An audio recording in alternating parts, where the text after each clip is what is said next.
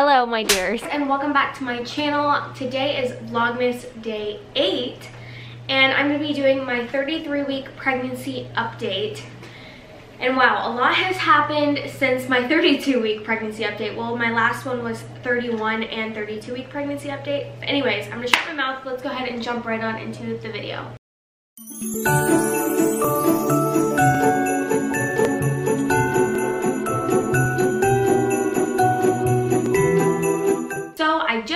Myself and I'm 140 pounds and I also just got weighed at my appointment yesterday if you didn't watch my vlogs.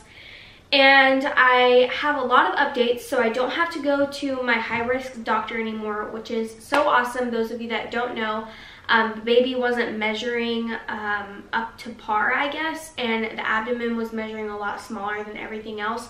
So I was having to go really, really frequently to the doctor and um, not only my OB, but the high-risk ultrasound doctor.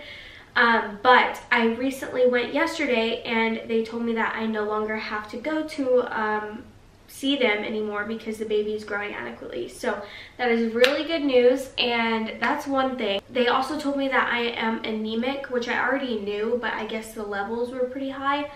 Um, it's kind of normal to be anemic during pregnancy, but I feel like I'm super anemic. Like if I don't have ice and water on me, those of you that watch my updates know, you're like, shut up. But if I don't have ice and water on me, I literally feel like I'm gonna faint and I have a lot of dizzy spells and that's what's happened in the last week or so. The dizzy spells have gotten really, really bad, like progressively worse and I feel like it happens multiple times throughout the day and it just, it really sucks.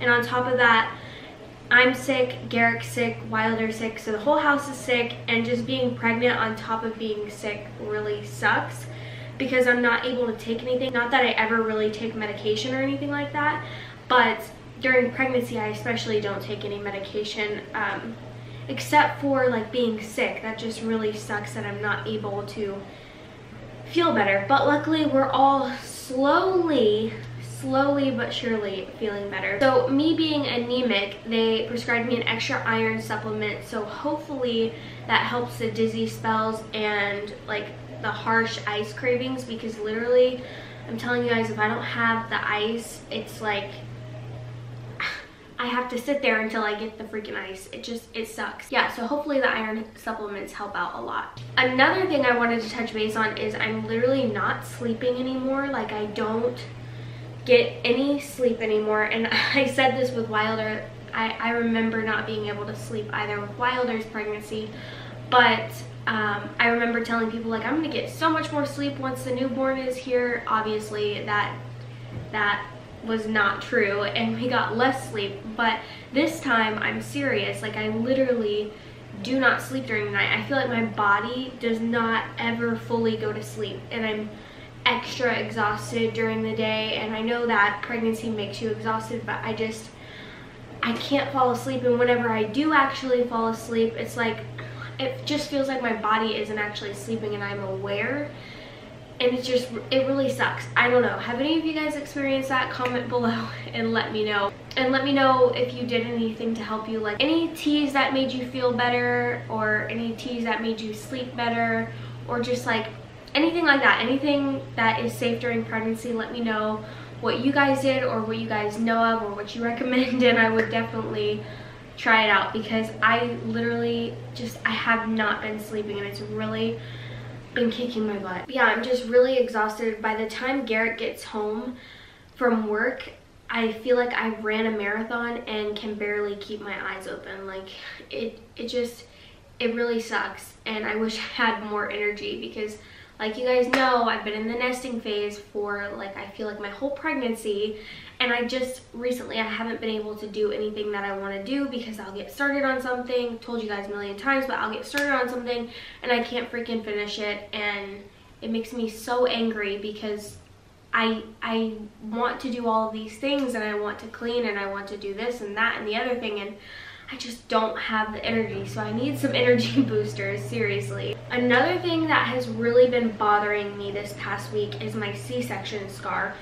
Um, those of you that are new here, I do have a 14 month old, so I had a C-section obviously 14 months ago and my babies will only be 15 months apart but my C-section scar has really been irritating me recently and it's keloiding a lot. It already did keloid like there's keloids all over it but um, recently it's just been super itchy and really like kind of painful to the touch like if I touch it it's just super uncomfortable maybe not painful but like super super uncomfortable and I don't know if that's because like I'm growing a lot right now or what it is but if any of you guys have experienced this comment below. I'm definitely going to talk to my doctor about it but it's just really really bothering me. Like anything that is on my waist like I never really wear maternity pants but I have been recently because I can't have anything like touching my waist right there um, because it's just super uncomfortable and all my pants like my leggings that I wear that's all I wear but all of my leggings just lay right there on my scar and it's just it's I can't do it. So I don't know what that is. But yeah let me know if that has happened to any of you guys. I'm sure it's due to me like growing and getting bigger everywhere, but I don't know, it's super freaking irritating. As for cravings, you guys know I always have to tell you what I'm craving, but recently it's been tacos. Like tonight I was like, Garick, what do you want for dinner? And he was like, not tacos again.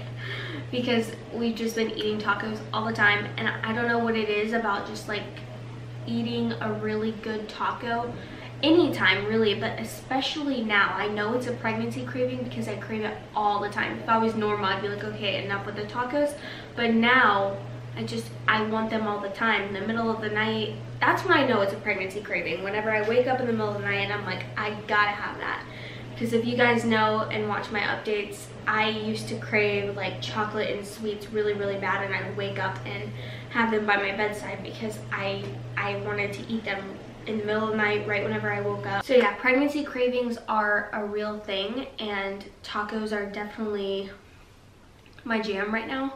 Also like the Mexican cheese, I don't know what it is about that Mexican cheese, but I really, really love it and I need water.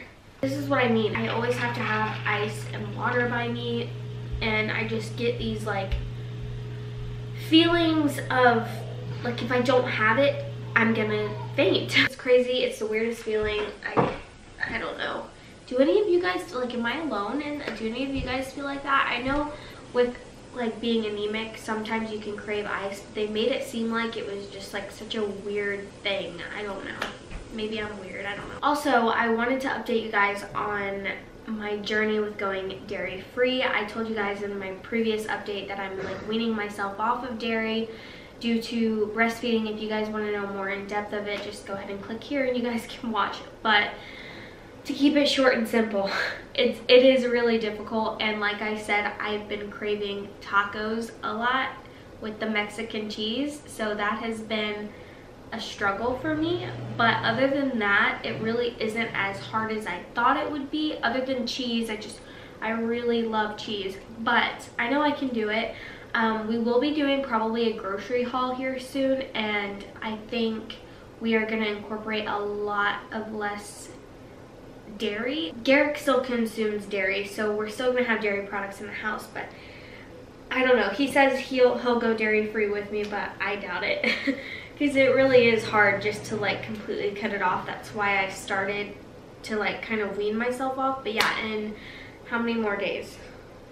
three days I have to completely just cut it off. Well, I mean, I don't have to, but I'm going to in three days. And I know that it will be worth it, especially if the baby is like Wilder was and just has a milk protein allergy, number one, and just it was really hard on um, his belly whenever he was younger. So I'm just trying to completely avoid all of that because when Wilder was a baby, it was it was really, really, really hard. So that is why I'm going dairy free. Anyways, besides the point, it is a little difficult, but like I said, I have three days and I know I can do it. I just need to stop craving those freaking tacos and Mexican cheese. This past week, I've been having contractions a lot more frequently and I know they're just probably like Braxton Hicks contractions, obviously, because they don't last long and they're not like consecutive, but they are pretty strong and my, I feel like my belly is always tight now. And I'm a small person. I have a really short torso, so I, I don't really have any room to work with. So I think that's one of the reasons why I always feel so tight and like I have no room because I don't. But I can definitely feel contractions a lot in this past week along with back pain. The back pain is getting pretty incredibly awful and I've had menstrual like cramps as well, which really sucks. But I keep taking for granted, like I forget that I haven't had a period in almost nine months. And I just, I, I feel like I take it for granted every month. And I know I'm, it's gonna suck whenever I get it back. I hate having my period, I hate it so much. And just whenever I have menstrual cramps, I think about that and how much I just, I hate the crampy feeling, the groggy, crampy feeling. It's awful and I've just been feeling that here recently as well. I also told you guys in my last updates that I've been super emotional lately. That has not changed at all. And I just feel like I feel everything 10 times as worse or 10 times as great. And I guess that can be a good and a bad thing, obviously. But yeah, the hormones are still crazy and not sure when that'll go away, how far postpartum that will go away. Comment below when you guys stopped feeling hormonal and more like yourself after you gave birth, whether it was cesarean or vaginal birth. I'm really curious.